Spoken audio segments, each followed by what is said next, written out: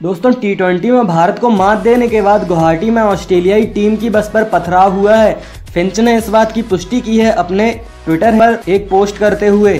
भारत और ऑस्ट्रेलिया के बीच गुवाहाटी में खेले गए टी ट्वेंटी में टीम इंडिया को आठ विकेट से मिली करारी हार के बाद अज्ञात लोगों ने ऑस्ट्रेलियाई टीम की बस पर हमला किया। ओपनर एरॉन फिंच ने ट्विटर और इंस्टाग्राम पर बस के टूटे हुए कांच की तस्वीर साझा करते हुए घटना की पुष्टि की है। फ़ोटो पर फिंच ने कैप्शन लिखा, होटल लौटते हुए टीम बस की खिड़की पर पत्थर मारा गया। ये डरावना है। फिंच के इस ट्वीट के बाद ऑस्ट्रेलियाई टीम की सुरक्षा पर सवाल खड़े हो गए हैं। ये हरकत किसने की? इस बात का अब तक कुछ भी पता नहीं चला है। दोस्तों, आप इस वीडियो में वो फ़ोटोज़ देख सकते हैं जो फिंच ने अपने ट्विटर हैंडल पर पोस्ट की हैं और उन्होंने क्या लिखा है?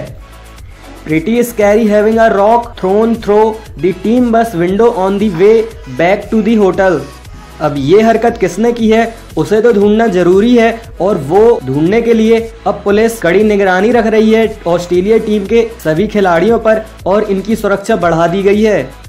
तो दोस्तों, इस वीडियो में फ़िलहाल इतना ही। लेकिन इसी प्रकार की कुछ और लेटेस्ट अपडेट्स और इंटरेस्टिंग वीडियो सबसे पहले पाने के लिए आप अभी आर्स एंटरटेनमेंट को सब्सक्राइब करें।